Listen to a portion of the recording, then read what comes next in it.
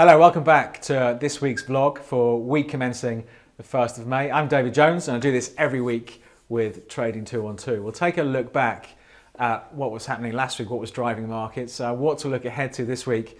And as usual, we're going to spend a bit of time talking about trading strategy. And this week, we're going to expand a little bit on what we were doing with moving averages last week. So if you missed that one, you can watch that and then we'll look at a different way of using moving averages. Now, going back to last week, it was quite a big week in the end. We saw some uh, sizable moves in stock markets and, and the likes of the euro and the pound, and this was all after the French presidential election, the first round that was held uh, on Sunday. The results from that gave markets some relief, and we saw markets sharply higher when Asian trading started on, on Sunday night, and that did continue uh, for the first few days of last week. You know, strengths in the likes of the euro is a fairly obvious one, but also stock markets as well pushed higher. Now, there's plenty going on this week. I think one of the first things to look at this week will be how do markets react after the gains from last week? Do we see those gains being built on and markets pushing higher?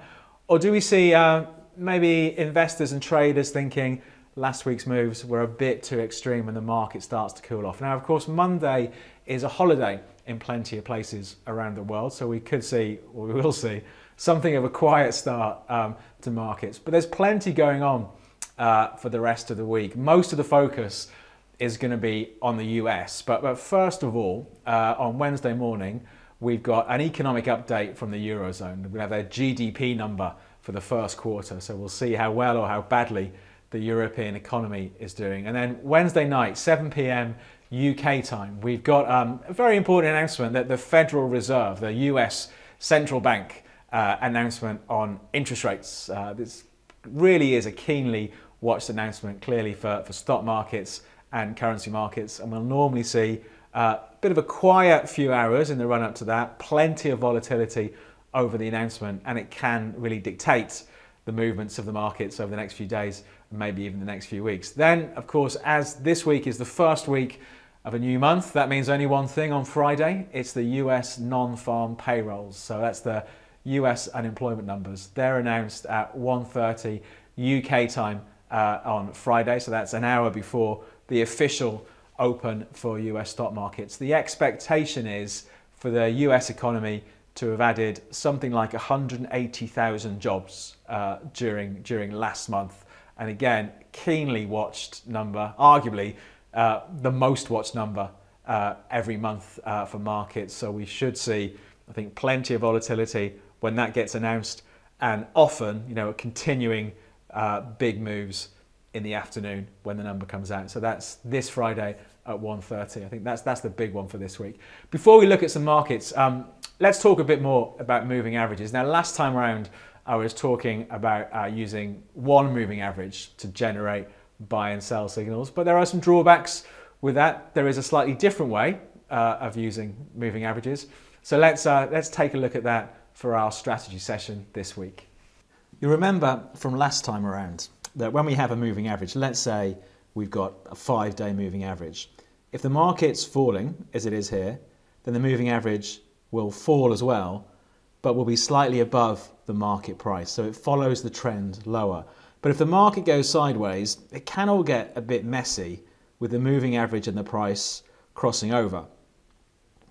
So there we have our downtrend, the market turns around, then the moving average turns around as well. So our signals come when we're using one moving average from the crossovers like here, and that's probably the best signal there where the trend reversed. But one of the problems is in a sideways market, the price and moving average will cross over, giving plenty of false signals. Let's say the purple line on here is a five day moving average. One way to filter out some of these weaker signals is to use two moving averages. So what we'll do now, we'll add a, a 20 day moving average onto the chart to see what that looks like. So here's our 20 day moving average that's also tracking the price, but because it's taking into account more price data, it doesn't track the price quite as closely. So it's at less danger of getting false signals from the price crossing through. So when we're using two moving averages, what we do, we actually ignore the areas where the price crosses through the moving average. Our buy and sell signals come when the two moving averages cross over. So in this example here, when the five day, the purple line, crosses above the green line, the 20 day moving average, that's the only buy signal that's generated on this chart. And of course, if the market fell off from up here and the five day crossed below the green, the 20 day, that would be our sell signal. So using two moving averages together will give us fewer signals, um, but hopefully it will filter out some of the messier signals like this when the price and the one moving average are close together. So that's the theory behind it. As usual, let's see how it's performed in the real world and we'll stick with those 5 and 20 day moving averages. So let's take a look at a real market and some real signals. Okay, we're on the trading 212 trading platform. Um, what I've got here is a daily chart for the euro US dollar going back to June last year. Let's add on our moving averages. We do it from up here on the indicators. It's a trend following indicator. So we'll choose a simple moving average. So first of all, let's choose a five day and we'll make that blue. We'll leave that as it is. Confirm. You can see our price, our moving average price has been added in. And let's add in a 20 day moving average. We'll keep it simple. Here we go. Make that 20 and we'll change the color to green on this one so we can see it. So there we have our two moving averages on the price. Now, if we were just using the five day on its own, it does catch the turns, the major turns, pretty well. But where it can get a bit messy, in these sort of areas where the market is going uh, sideways, where we're buy, sell, buy, sell, buy, sell, buy, sell. So the idea of adding the second moving average what we're looking at here is just taking the signals when the two moving averages cross over. The price is important, of course, because it's the, the price that, that decides the value of the moving average. But it's when these two cross over. There's our sell signal. We had a buy signal down there, which reversed pretty quickly. Then a buy signal down here. You can see the 5 moving above the 20, giving a buy signal there. Then it stays long all the way up. Then sells here, reverses and sells short. Then a buy signal down here, a sell signal there, and the most recent signal we had was a buy signal just here on the 20th of April. So that would have been uh, the week before last. So hopefully you can see how using two moving averages together can filter out um, some of the false signals. It may not suit everybody. You know, some people, if they're using moving averages, they want to stick to just one and have the price crossing above. But if you'd like maybe a slightly more uh, medium term and, less choppy uh, trading approach using moving averages, then using two uh, could be the solution for you.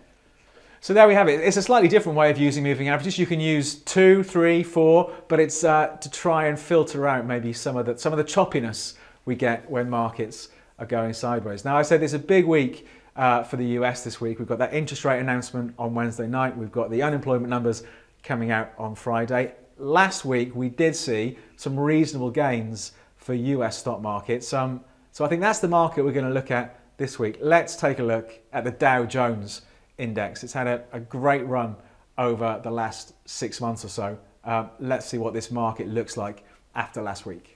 Here's the US stock market, the Dow Jones, um, the US 30 as it's known on the platform.